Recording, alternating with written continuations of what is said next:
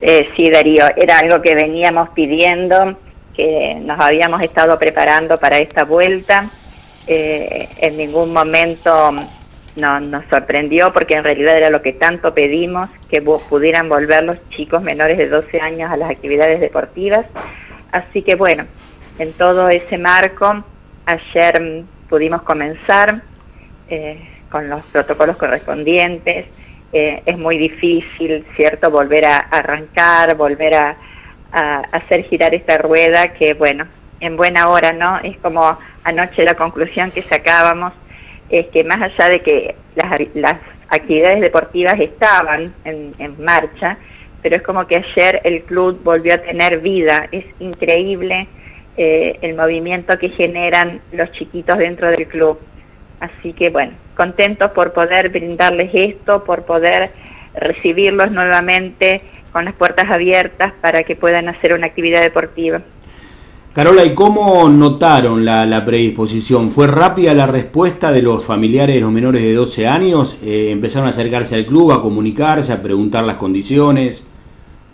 Eh, sí, fue inmediato. Apenas eh, llegó el decreto que empezamos a mandarlo eh, vía WhatsApp, enseguida empezaron todas las preguntas y, y cuándo volvemos y cuándo empezamos y, y bueno, pero fue fue bastante rápido. Si vos pensás que ayer lunes ya pudimos poner todo en marcha, eh, los profesores también estaban esperando esto, así que no hubo que hacer demasiadas cosas, los protocolos estaban preparados.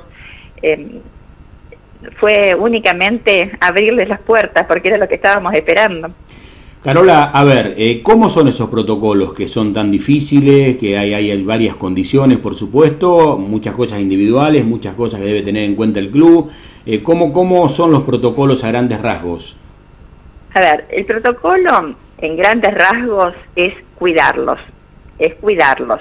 O sea, que los grupos no sean numerosos, que mm, cada chico trabaje en forma individual con sus elementos deportivos, eh, se los recibe, se les mide la temperatura, eh, con alcohol, se les pone alcohol en gel en las manitos, cada uno va con su kit eh, donde tiene el alcohol en gel, la botellita con agua y la toallita, todo personal, cada uno tiene lo suyo. trabajan eh, pasando por estaciones, o sea, en ningún momento eh, están todos juntos adentro de una cancha jugando un partido, ¿te das cuenta? Sino que pasan por estaciones. Eh, nosotros ayer les fuimos mandando fotos, fuimos mandando fotos a través de los celulares para que vean cómo estaban trabajando los chicos, para que mm, los padres también sepan que los estamos cuidando, que los profesores tienen mucho cuidado con eso en trabajar con un distanciamiento, que cada chico tenga su pelota.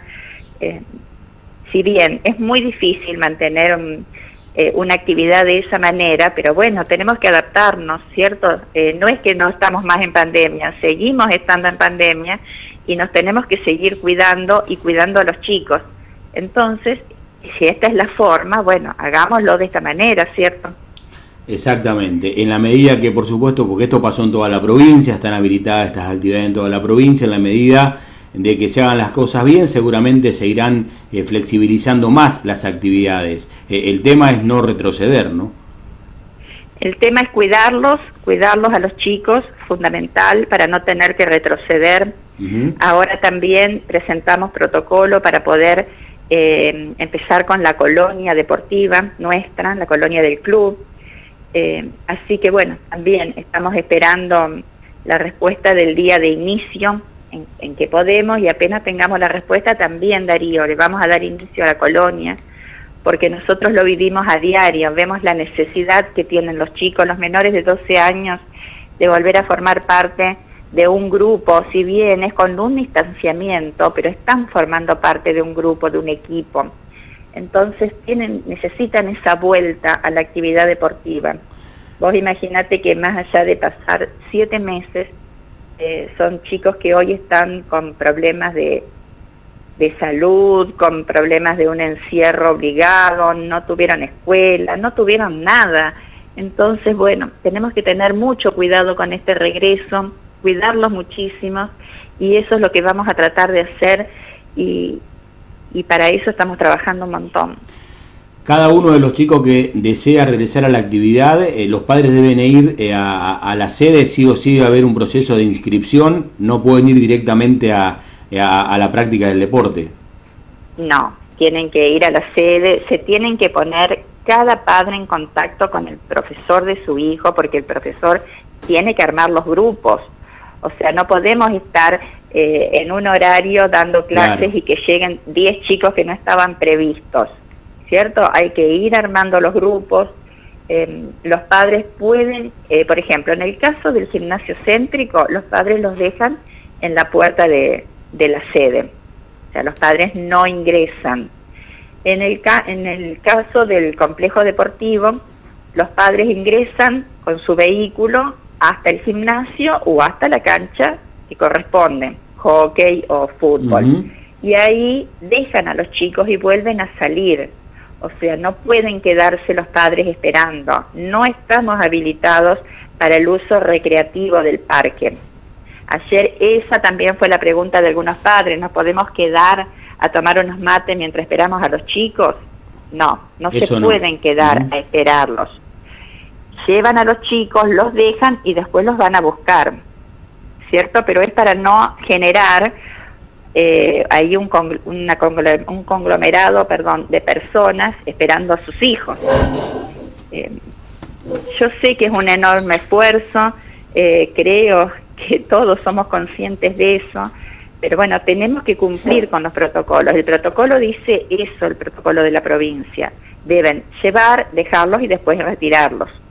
Y bueno, así estamos tratando de hacerlo. Perfecto, de modo que si un padre o una madre va a hacer alguna otra actividad al club, algún otro deporte que lo pueda desarrollar, eh, deben ir solos y solas. Sí, sí, sí, exacto. Eso, eso está claro. No podemos, todavía no podemos usar el parque como uso recreativo. bueno, Creo que no estamos lejos de eso, pero bueno, hoy por hoy no. Exactamente. ¿Y qué se sabe de, de la natación, que falta poco para que dé inicio? Bueno, la pileta va a abrir el primero de diciembre. Eh, por ahora, con natación, ya sea con profesor o libre, pero por ahora con natación. De todas maneras, nosotros presentamos el protocolo correspondiente para habilitar la zona de parque. Bien. Con burbujas, pero bueno, la zona de parque. Que cuando salen de la pileta puedan quedarse en el parque. Ah, está bien, está bien, con, con distanciamiento, con, con, burbujas, con determinada... ¿Cuántos metros, por ejemplo, entre grupo y grupo? Nosotros hicimos, lo armamos con burbujas de goma de dos metros de diámetro cada burbuja, o sea, cada mamá que va con sus niñitos a la pileta va a retirar su burbuja, que es un círculo de goma de dos metros de diámetro, y va a poder quedarse en el parque dentro de su círculo y a los dos metros de ese va a haber otro círculo con otra mamá que también, o papá que van a estar con sus hijos. Familia por familia, o sea, no van a poder compartir las benditas mateadas de la pileta de la tarde, pero eh, de todas maneras van a compartir una sociedad, ¿cierto? Van a poder eh, interactuar con otros chicos, que es lo que no queremos, eh, que los chicos sigan encerrados, Darío. Entonces, de esa manera, ese es el protocolo que nosotros presentamos para pileta. Eso, ese protocolo lo presentan a las autoridades municipales, que son quienes deben habilitarlo, autorizarlo. Claro. ¿Mm? Eh, exactamente. Bueno, eh, hay, hay, alegría, viste satisfacción, viste rostros felices ayer en la, en la reapertura de estas actividades, Carola. Sí, ¿sabes lo que más nos sorprendió? A ver. Que los chicos, los chicos llegaban, llegaban y se bajaban del auto, iban derecho a hacer la actividad. O sea, a nadie le costó, a ningún chiquito le costó ese despegue de papá o de mamá para ir a hacer una actividad deportiva. Entonces vos te das cuenta cuánto lo estaban esperando, porque ellos eh, entraban corriendo para ir a hacer el deporte.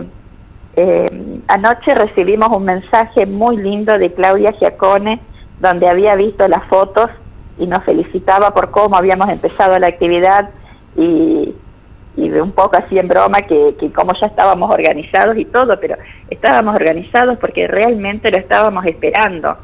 O sea, nosotros estábamos pidiendo y pidiendo que a veces reconocemos que, que somos muy insistentes y que no depende del gobierno municipal únicamente. Pero bueno, creo que si todos nos unimos y, y todos eh, hacemos de que de toda esta, esta situación de los chicos esté bien cuidada, podemos seguir adelante. Por último, te pregunto cuál es la situación del jardín, que también estuvieron haciendo gestiones y bueno, y haciéndose oír en esa necesidad de reapertura de los jardines. Bueno, del jardín no tenemos novedades aún. Eh, por lo que vamos viendo, creemos que va a ser lo último que se va a abrir, una de las últimas cosas. Eh, sí vamos a poder habilitar colonia en muy poquito tiempo. Y la colonia la vamos a hacer desde dos años.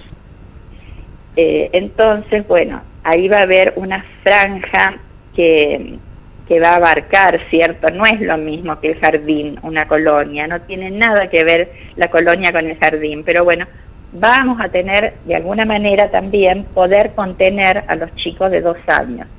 Pero la, la apertura del jardín no, todavía no aparece nada de eso. Carola, te agradezco este tiempo y te pregunto en el final cómo marcha lo de la confitería transformada en restaurante los sábados con reservas. Bueno, ese es un, un nuevo desafío eh, que si bien no es eh, el gran desafío, pero bueno, nos está ayudando un montón. Eh, venimos, eh, ya hicimos tres sábados, los tres sábados con el cupo que tenemos de, gente para, para poder estar sentado comiendo con el cupo completo. Cerca de 50 personas, ¿no? En total.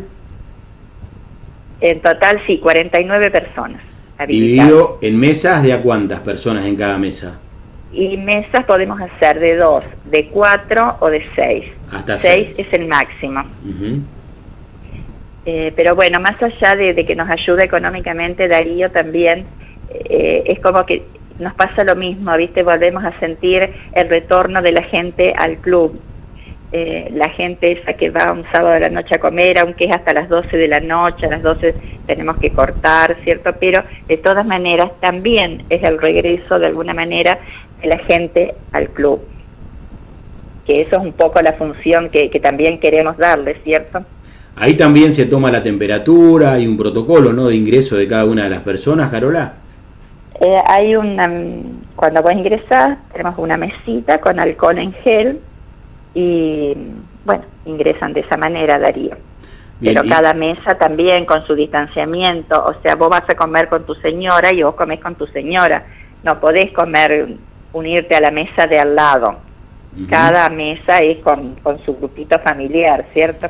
Exactamente. Bueno, y seguramente deben ser estrictos los protocolos y los condicionantes, ¿no? Para el tema de las de las vajillas, ¿no? Y la, todo, higiene todo, absolutamente todo, toda la vajilla pasada por alcohol. Eh, Tratamos, Darío, nosotros queremos que la gente sepa que en este momento estamos trabajando muchísimo más que en otro momento. Claro, por eso lo preguntaba. por eso lo preguntaba, es, el, doble esfuerzo todo.